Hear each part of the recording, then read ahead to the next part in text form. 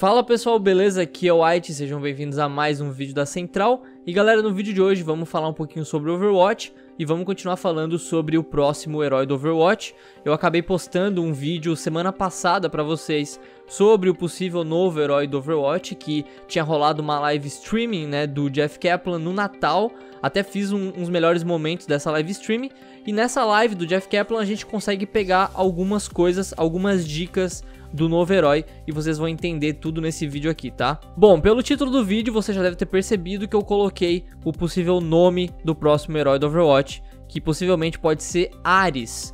E eu vou te explicar tudo direitinho por que, que a comunidade do Overwatch, algumas especulações, estão levando ao novo herói ter esse nome de Ares, tá? Tudo isso começa há dois dias atrás, num post do fórum do Reddit, onde o jogador chamado Shinobis ele comenta a teoria dele para o novo herói do Overwatch e ela faz bastante sentido na minha opinião. Ele começa explicando que sempre quando um herói novo tá para lançar, ele acaba aparecendo de alguma forma em algum momento de alguma comic, algum algum curta, alguma coisa do Overwatch, em alguma postagem, como por exemplo o Doomfist. O Doomfist ele apareceu na história da Orisa, porém quem foi lançado foi a Orisa. Depois a Moira ela acabou aparecendo na comic do Doomfist. Vocês lembram que tinha a Moira meio escondidinha, a gente não sabia quem era, e a gente até tinha falado um pouco do Maximilian, porém, quem foi lançado foi a Moira, e foi na comic do Doomfist, e quem foi lançado foi o Doomfist. E a ideia agora é a mesma,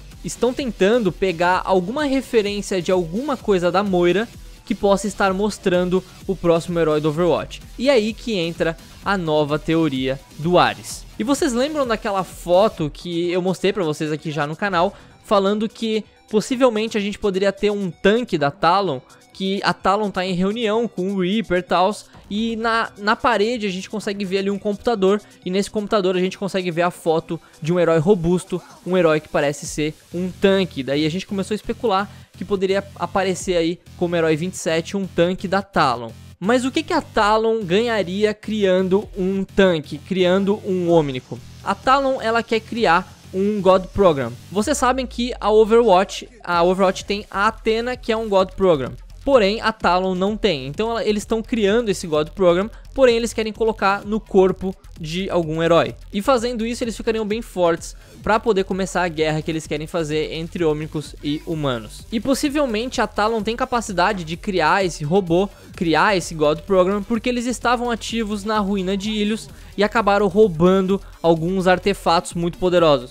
Então é basicamente isso. A Talon quer fazer essa guerra quer criar esse robô para colocar o God Program que eles têm, que eles estão fazendo. Por isso que eles estavam nessa reunião. Agora a gente vai entrar nas pistas que o Jeff Kaplan deu pra gente no Natal. Nessa live de Natal, o Jeff Kaplan falou quatro palavras aleatórias em inglês, foi totalmente aleatório. Eu mesmo, quando estava vendo o vídeo, quando, quando eu vi a live, eu não entendi porque ele falou aquelas palavras, foi simplesmente muito aleatório.